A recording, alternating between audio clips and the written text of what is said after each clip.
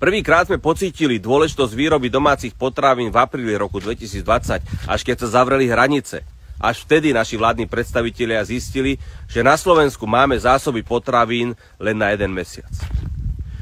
Vojnou na Ukrajine pociťujeme opäť začínajúci nárast cien komodít na svetových burzách a tým nemám na mysli zlato alebo ropu, ale sú to komodity ako pšenica kukurica, v podstate komodity potravinárskeho charakteru. Takže v blízkej dobe budeme svedkami ďalšieho ohromného zdražovania potravín. A ja už neviem, ako donútiť politikov, aby sa na našu krajinu pozerali ako na polnohospodárskú krajinu, kde produkcia potravín pre slovenský národ musí byť prvorada. Nemuseli by sme zažívať tieto katastrofálne stavy, ak by už konečne vládni politici brali odvetvie pôdohospodárstva a produkcie potravín vážne.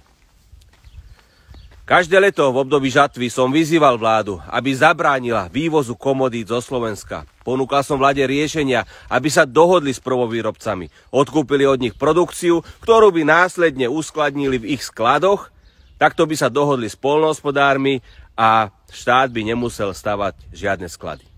A takto by slovenská vláda mala vyhraté. Slovenskí pekári by dnes piekli chlieb z pšenice za 195 eur za tonu a nie ako dnes z pšenice, ktorá stojí 300 eur za tonu.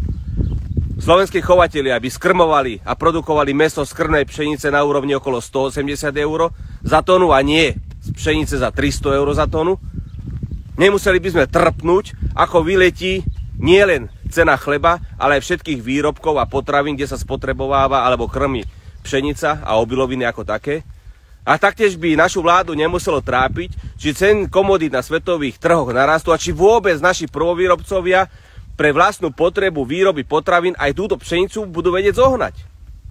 Dúfam, že aj táto situácia naše vláde otvorí oči a budú sa na slovenskú pôdu a na produkciu slovenských komodít pozerať zodpovedne a nenechajú a nedovolia už postávať zahraničným špekulantom so svojimi kamionmi na slovenských poliach období žatvy že zamedzia ďalšiemu vývozu našich komodít bez pridanej hodnoty do zahraničia, kde ju vedia farmári zúžitkovať, následne potravinári spracovať, takto si vytvoria pracovné pozície, pracovné miesta. Všetci zahraniční sú vysmiatí, len my sa tu musíme mračiť, lebo ku nám takto putujú zbytočne predražené potraviny z našich komodít. Toto už raz a navždy musí skončiť.